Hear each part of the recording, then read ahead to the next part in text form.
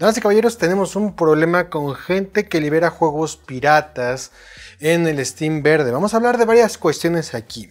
De qué significa, qué va a representar y el por qué tenemos que evitar este tipo de medidas a pesar de que tengamos algunos problemas eh, de poder adquisitivo. Pero ahorita vamos a ver por qué lo tenemos que decir.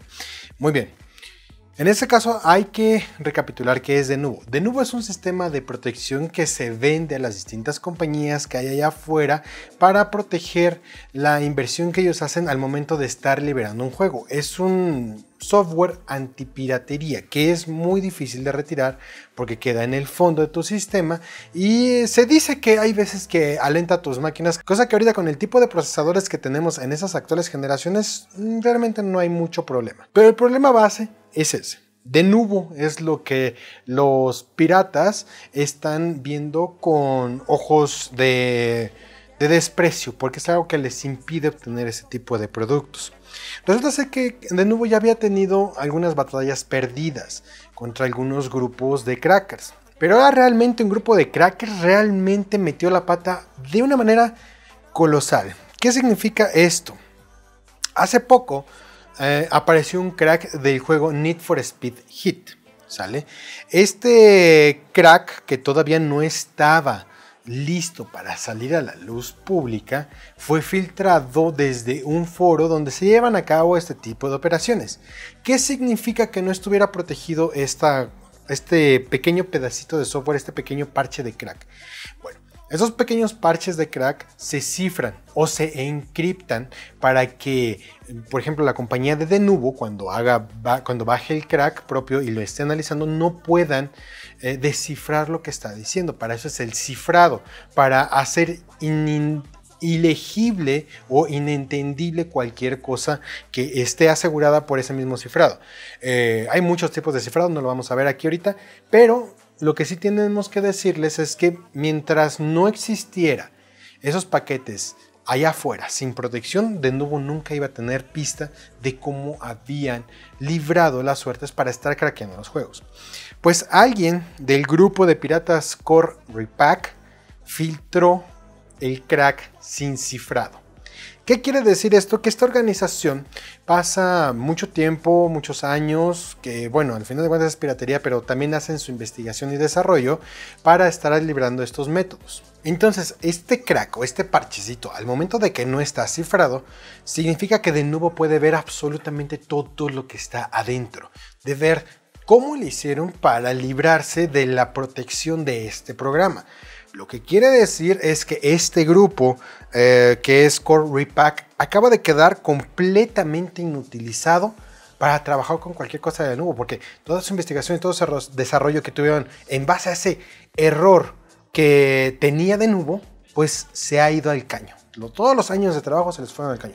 Esto aparentemente fue filtrado por un beta tester, por una persona que se ofrece a estar probando estas cosas. Y bueno, salió un problema porque varios grupos han sido este, afectados por esta misma medida. Y entonces esto es lo que ellos están anunciando, que van a cerrar las operaciones definitivamente por esta cuestión de esto que se dio a conocer ya y que ya está en las manos de Denuvo. Es el fin para esta mini compañía, entre varias mini compañías que están haciendo un esfuerzo para piratear las cosas. Ya que hay una cuestión, muchachos, en lo cual esto aparentemente es una victoria para Denuvo y otros, eh, otros grupos de crackers bueno, algunos están en vacaciones, otros no están trabajando, otros no son tan eficientes, pero al final de cuentas siempre hay un esfuerzo para esto. Pero, ¿por qué nos está afectando y por qué en América Latina nos va a ir o nos está yendo peor que en otras partes del mundo? En este caso, la gente que roba a través de Steam Verde está cometiendo o, está apilando piedritas y piedritas y piedritas para dañar a nuestra región. Porque nosotros en la Master Race tenemos unos problemas muy graves que, la verdad, les voy a ser honesto, no sé por qué los desarrolladores siguen haciendo muchos juegos para nosotros y para nuestra región. ¿Por qué lo digo así?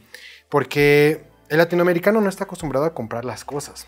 Ve la piratería como, una, como un recurso de que no tengo dinero, tengo que probarlo de alguna manera para ver si es compatible. Cuando ese pretexto ya no es realmente muy eh, sensato, ahorita que ya tenemos devoluciones en todas las plataformas, y lo único que tienes que hacer es no pasarte de las horas de juego para que ellos te estén devolviendo tu dinero. Y si no te quieren devolver el dinero, pues desconoces la operación con tu banco y listo, se acabó, ya no tienes problemas. Pero esa mentalidad de no querer apoyar a los desarrolladores es una. La segunda mentalidad es que en Latinoamérica tenemos los precios, unos de los precios más bajos del mercado. Lo que quiere decir, al menos en PC, lo que quiere decir que los desarrolladores ganan menos con las ventas aquí. Y las ventas no son directamente en el año en sí, sino la mayor parte de las ventas también se lleva a cabo en las ofertas de Steam donde los desarrolladores están ganando una parte minúscula al respecto. Y de plano, eh, hay gente que se enorgullece de estar usando el Steam verde. Todos esos factores simplemente nos dan a entender y le da a entender al desarrollador de que la región no vale la pena invertir. Es por eso mismo que hasta ahorita, aún de tantos años después de haber tenido, vamos a meter a las consolas aquí, aún después de haber tenido tantos años de consolas en esta región, no se invierte en servidores, porque la gente no está acostumbrada a comprar.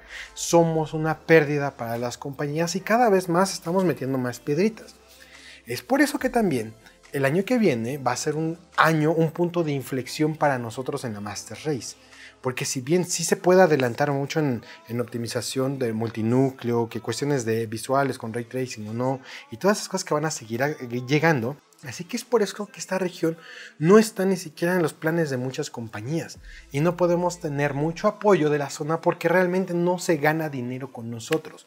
Por lo mismo, cada vez que pirateas estás dañando a alguien, a pesar de que tú tengas ese sentimiento de que no estás haciendo nada.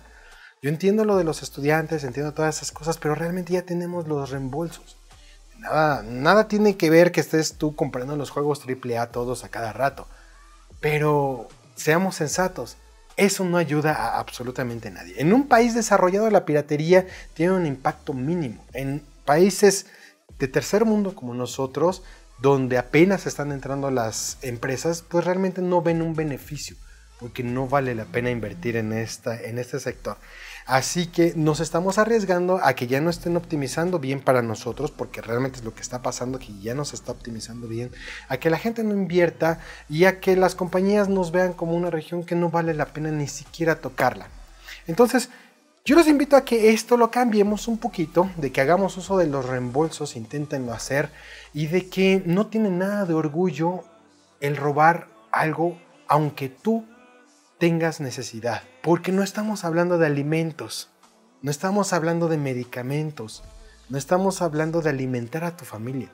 Estamos hablando de simplemente algo con lo que te entretienes. Es algo completamente diferente, que no tiene relación con el, no sé, con el acto robinjudesco de estar robando allá afuera. Entonces, no sé, digo, y a mí si me, si da hambre en la calle, a lo mejor busco un puesto de tacos, un puesto donde me vendan una sopa instantánea, pero jamás voy a robar. ¿Por qué seguimos teniendo esa mentalidad aquí de que eso no está mal visto? ¿Por qué lo seguimos solapando tanto? Nos podemos hacer mucho mal y eso no vale la pena. Pero bueno, eso ya es plática que queda dentro de todos y cada uno de nosotros aquí en esta comunidad, en este sector. Y sin duda alguna esto va a empeorar. Yo esperaría que precisamente la cuestión del DRM, porque ya saben que ningún juego de Steam, ningún juego de Epic, ningún juego de Origin, ningún juego de, nada salvo GOG les pertenece. Ningún juego nos pertenece. Entonces, yo esperaría que realmente si fueran a implementar más adelante, y no lo dudaría tantito, y tendrían toda la razón en hacerlo, de juegos 100% y siempre en línea, porque no hay otra manera de lidiar con las cuestiones. A toda acción tiene una reacción, y cada acto malo debe de reprenderse de la manera adecuada. Y eso es a lo que estamos orillando a todas esas compañías, a que justifiquen el uso de protección permanente para simplemente su trabajo. Los invito a reflexionar, los invito a reflexionar a que vean ese aspecto positivo de los reembolsos, de comprar adecuadamente y, bueno, aunque no lo compres en el año, si quieres esperarte a las ofertas, aunque ya sepamos que ellos ganan menos, pero cómpralo aunque sea una oferta. Anímate ahorita con todas las cuestiones de flexibilidad que tenemos para estar adquiriendo nuestros juegos, anímate a probarlas. Y aléjate de estar robando el trabajo de los demás. Te pasa a ti, o cuando te roben a ti algo, que yo creo que ni nadie en Latinoamérica es ajeno a un robo, bueno, ya sabes lo que se siente. Vamos a ser positivos, vamos a apoyar a nuestros desarrolladores y a que nuestra región esté creciendo, muchachos. Los invito a que hagan eso y también los invito a que nos apoyen. Ya saben que tenemos tres maneras para que ustedes estén apoyando a crecer este canal. Número uno, estarse inscribiendo en nuestro Patreon para estar fondeando algunos experimentos muy locos que ya vienen dentro de poco. Estar haciendo una compra con el link de Amazon que está ahí abajo en la descripción. Siempre va a haber una oferta o que estén rentando un servidor en nitrado para que este canal siga creciendo. Los invito a reflexionar, a hacer acciones positivas y enfrente de la cámara está Ninja Pollo, atrás está Gabachita y les decimos, vamos a la que sigue. Bye bye.